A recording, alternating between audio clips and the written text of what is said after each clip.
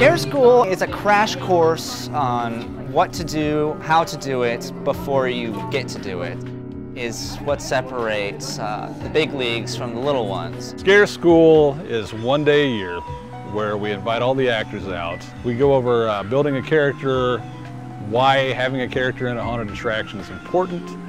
We go over safety, we go over costuming, and then we just we have open discussion about what to expect, especially for the new performers out there in the field. Don't overcomplicate things. Find something that works for you, and if it works for you, wash, rinse, repeat. Just do it over and over again. If it doesn't work for you, find something else that's fairly simple, different lines, and, and work with that. Best thing about Scare School is it's probably one of the best tools to help everyday people break out of their shells and come out as the true monster without having to worry about what people will think, what will they look like, and just embrace what truly makes them scary.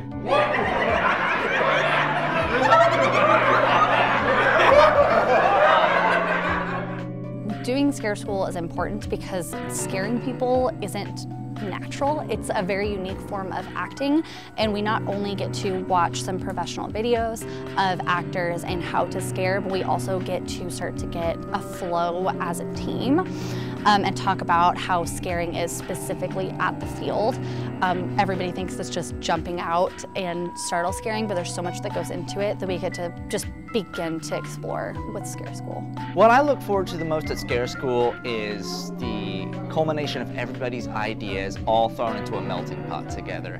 While I'm trying to build up a character or gain new ideas to keep things fresh for the next year, everybody else is doing the same thing, or newbies are trying to put together something themselves. There's nothing quite else like it. There's just this family, this atmosphere, this just camaraderie that you can find only here. And once you kind of go back to your normal 10 to 4 kind of job, it just, all you want is to be back here.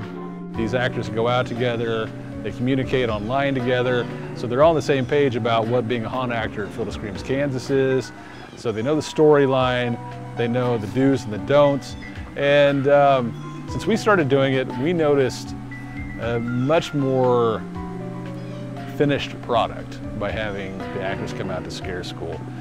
Not just by the information we're giving them, but the fact that it makes them take it seriously and it's just not showing up, throwing on a you know, a mask or some makeup and just going out there and just, you know, screaming at people. We want it to be much more nuanced than that, and that's part of what makes, uh, you know, Field of Screams Kansas, you know, uh, very successful.